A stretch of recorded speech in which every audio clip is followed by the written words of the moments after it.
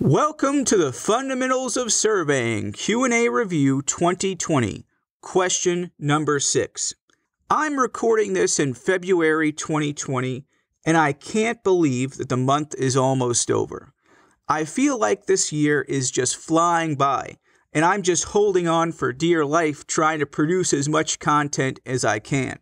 If you think February or any month in 2020 is flying by, comment below and tell us why. All right, call of the question. Your civil engineering, land surveying, urban planning firm gets a sweet contract from the military to survey some bases. Jackpot. But unfortunately, you can't collect the money until you actually do the work.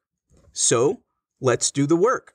As part of the contract, the DoD, Department of Defense, is requiring that the data handling procedures be outlined in an appendix.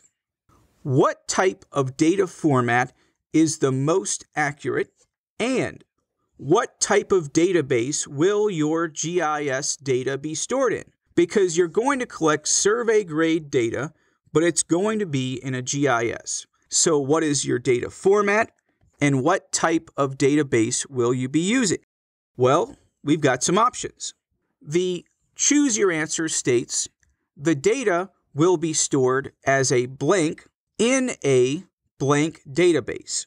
And this is one of those questions where they're not going to tell you two in one and two in the other. You are just going to have four, five, six, maybe even 10 different words. And you are going to have to grab the word and drag it into the correct spot. So this is called fill in the blank. And you have two blanks. Now here's the scary thing. If you get one of these two wrong, you will get zero points. You have to fill in both blanks correctly to get any points in this question. So when you have a question, a multi-pronged question like this, you need to be on your A game. Now here's the situation. You're on a military base and you have to survey the vegetation, the buildings, the roads, the signage, everything. You've even got to survey the bomb crater holes on the test facility. Well, in a GIS, you will have a buildings layer, a bomb crater level, a vegetation layer, all these different layers. And then at the end of the project, you will combine all of the layers together and you'll produce a beautiful map. And you'll deliver that map to the DoD and then you'll get your fat paycheck. But we've got some definitions that we have to figure out what means. And because there's really no great book about these definitions, I just used Google. And I Googled several key phrases and this is what I came up with. First of all, we've got our data format. There are two types of data formats in GIS. There is the raster format and there is the vector format. So a raster is nothing more than a series of cells. In this smiley face, I've got some black cells, I've got some blue cells, I've got some yellow cells, and I'm just going to fill in these colors so one is blue, two is black, and the three value is yellow. Fill in these cells. And the problem is that the bigger the cells, the coarser the data. So my left eye is very coarse. I've got big blocks, while my right eye is very fine. So the more cells you have, the greater the accuracy, the greater the precision. On the other hand, we've got vector. And vector data is a series of points, lines, and polygons. On the right side of the smiley face, we have a line that makes up the smiley face. We have a polygon, which makes up my two eyeballs. And then I have a series of points, which are somewhere in the middle.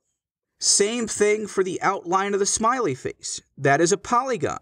And so is the yellow smiley face background, another polygon.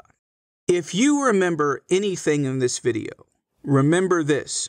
Raster is faster because it requires less processing power, while vector is corrector because you have greater precision, greater accuracy, and much less error in the data. So if you want to go fast, go with raster.